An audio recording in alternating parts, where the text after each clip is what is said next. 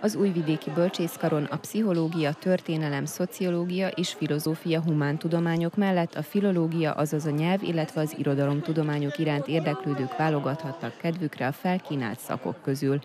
Szerintem nagyon szép előadás volt, részletes volt, sok mindent megtudtunk a tanszék programjairól, tanulási folyamatokról. Gondolkodtam sok mindenen, de még nem tudom eldönteni, hogy mi lesz. Ide is csak eljöttem, hogy meglássam, hogy mit lehet itt tovább tanulni, és hát megtetszett, meg elég szépen előadták. Még elgondolkodom róla, lehet, hogy itt kötök ki én is. A Futaki mezőgazdasági középiskola magyar tanára is több diákot hozott a rendezvényre. A tanárok nagyon törekedtek, hogy minél átfogóbb képet nyújtsanak, ugyanúgy, ami hallottam, hogy újdonság ezeken a nyílt napokon, hogy a diákok is uh, törekedtek, ugye valamiféle képet nyújtani a tanszékről, és azt hiszem, hogy ez a diákoknak különösen érdekes volt.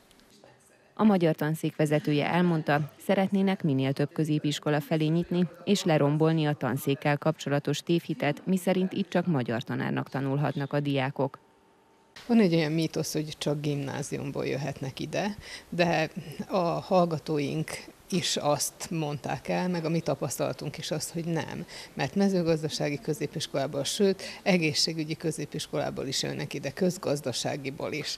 Tehát nem szabad ragaszkodni ahhoz, hogy csak aki gimnáziumot fejezett be, az jött magyar tanszékre.